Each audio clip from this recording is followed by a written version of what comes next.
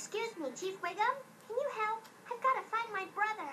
Ah, sorry, little girl. I'm busy collecting evidence on Jailbird. We're busting him on the three strikes law. How many strikes do you have so far? Uh, no strikes. But that's only because I'm a very, very bad cop. Now, first of all, if we're gonna go undercover, you will need a disguise. You mean like an eye patch? Hey, good one. if we could afford a disguise like that, I wouldn't be getting paid in potato chip coupons. So what disguise do you have? Well, here's one of Ralph's old Halloween costumes. Fine, wait here and I'll get changed.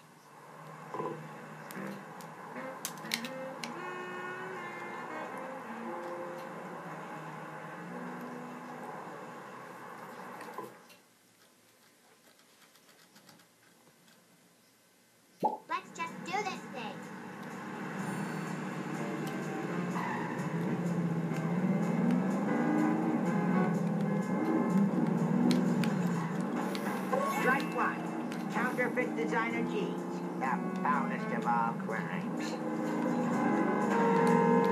I hope those were recyclable. Ah, yes. Legally sanctioned violence. Ain't it sweet? It's Wiggum time. Strike two. Running over an elderly person without a license. Watch where you're going.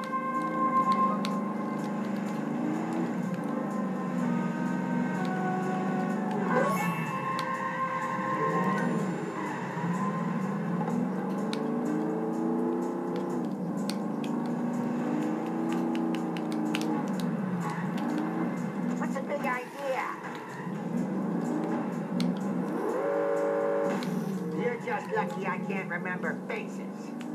I hope these are recyclable. Smashy, smashy.